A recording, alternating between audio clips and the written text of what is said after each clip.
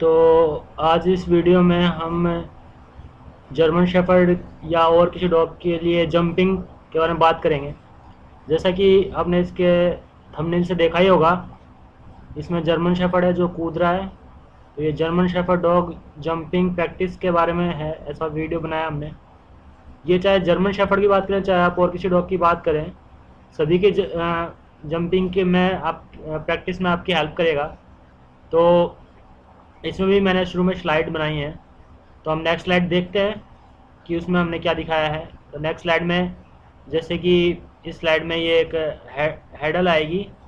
तो अब इस हैडल जो है मानी रुकावट तो इस, इसको अगर डॉग को आप पार करने के लिए कहेंगे डॉग को कूदने के लिए कहेंगे तो क्या डॉग कूद जाएगा इसको इतनी आराम से?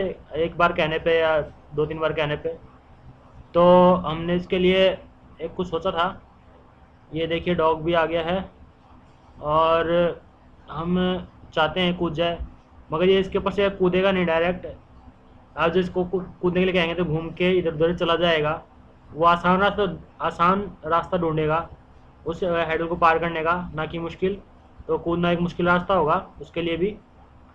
और दूसरी साइड से माने हम दिखाएँ आपको, अब बार बार कोशिश करेंगे तो नहीं जाएगा, ये साइड में सो के जाएगा।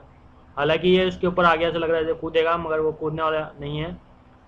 तो हमने इसको, मैंने इसमें दिखाया है आपको कि क्या दिक्कत हो सकती है। एक तो आपकी हैडल थोड़ी ऊँची होती है तो कूदने में दिक्कत हो सकती है। और दूसरा ये है कि हैडल थोड़ी अलग होती है डॉग के कूदने के लिए। देखिए, जैसे कि जो डॉग जंपिंग जो हैडल्स हैं, हमने कुछ फ़ोटोज़ लिए हैं जो कि हम आपको दिखाना चाहते हैं। देखिए देखिए जैसे ये फ़ोटो है, थोड़ी सी ब्लर है। मगर इसमें आपको साफ़ साफ़ समझ में आएगा, जो रेड कलर के जो स्टॉपर्स लगाए हुए हैं, जो हैडल्स की साइड में, वो डॉग को इधर उधर जाने से रोकते हैं। उसको पता है कि बीच में से कूदना सबसे आसान होगा तो बीच में से कूद के आता है। और इसकी हाइट भी बहुत ज़्यादा नहीं है। मानी इतना ही ऊँचा रखे जितना डॉग कूद सके। दूसरी फ़ोटो थोड़ी साफ़ है, इसमें आप देख सकते हैं कि किस तरह से डॉग उसको पार कर रहा है। वो साइड की जो बार हैं, वो ऊँची हैं, और वो एक तरह से रुकावट है, इसलिए डॉग उधर की साइड से न जाके बीच में से आता है। और हमने तो इसका कुछ अलग ही जुगाड़ लगाया है। देखिए, इसके आगे वीडियो है और वीडियो में आपको दिखाएँगे कि हमने जंपिंग की प्रैक्टिस की ट्रेनिंग शुरू कैसे की है। हालाँकि ये जो हमारा फीमेल फीमेल डॉग है, उसने खुद ने कूदना शुरू किया है। थोड़ा बड़ा होने पे कर लेते हैं। तो जैसे कि कोई भी एक चीज़ जो कि चाहिए, क्योंकि उसके बिना तो ये लोग बाहर कूदेंगे नहीं। ये हमारी छत है रूफ टॉप है।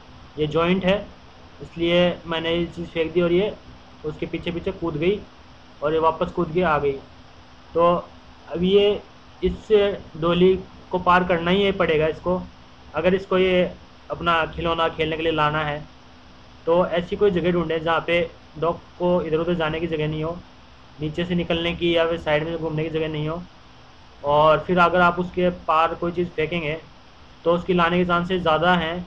बजाय अगर आप एक सीधी सी बीच में कोई लकड़ी से रख देंगे और उसके साइड में फेंकेंगे तो डॉग साइड में होकर चला जाएगा। अब ये सिंगल, मानी एक ईंट वाली दीवार है और छोटी दीवार है तो ये एक ऐसी रुकावट है, आप ऐसी कहीं कोई बना सकें या फिर ऐसा जैसे कि साइड में से लगा के रोक सकें कि उसको उसके ऊपर से जाना पड़े। थोड़ा अगर आप उसको इसके लिए इंकरेज करें कि वो उसके ऊपर से जाए तो वो ज़रूर करेगा। हालाँकि इसमें थोड़ी सी टाइम और थोड़ी सी प्रैक्टिस लगेंगी। हमने भी हमारे डॉग्स को कई बार ऐसा किया है, तब जाके उसका थोड़ा आदत हुई है। हम इसको ओपन में, अभी वो कमांड इतनी सही से समझती नहीं है जंपिंग वगैरह की, अभी एक साल की हुई है मुश्किल से। तो मनी हो ही गई है, मुश्किल से तो क्या? तो वो सीख रही है धीरे धीरे और हम भी इसको आगे जारी रखेंगे। तो इस वीडियो में इतना ही और हम अगली वीडियो आपको लेके आएँगे बहुत ही जल्द। जैसा कि मैंने पिछली वीडियो में कहा था कि हम जर्मन शेफर्ड के कोर्ट के लिए वीडियो लेके आएँगे। तो ये मैंने पहले रिकॉर्ड कर ली थी, इसलिए मैं इसी वीडियो को अपलोड कर रहा हूँ। और जर्मन शेफर्ड के कोर्ट से रिलेटेड वीडियो हम आज या कल में ले आएँगे।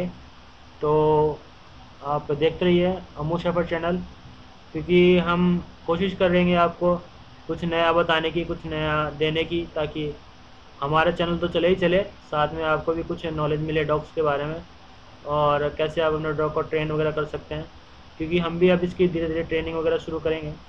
और आपको लगता है कि शायद मैं कई बार मैंने कहा कई तरह की वीडियो लाने के बारे में मैं नहीं ला पाया, क्योंकि कुछ कारण रहते हैं कई बार। ऐसा कुछ नहीं है।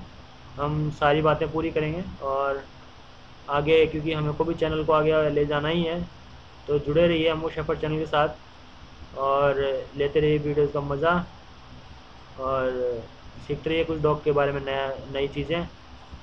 हम उम्मीद करते हैं कि आगे आने वाली वीडियो आपको पसंद आएँगी और ये वीडियो भी आपको पसंद आई होगी। थैंक यू एंड बाय मिलते हैं आपसे जल्दी नेक्स्ट वीडियो में। तब तक के लिए देखते रहिए अमू शेफर चैनल को। लाइक सब्सक्राइब और कमेंट करना ना भूलिएगा। बाय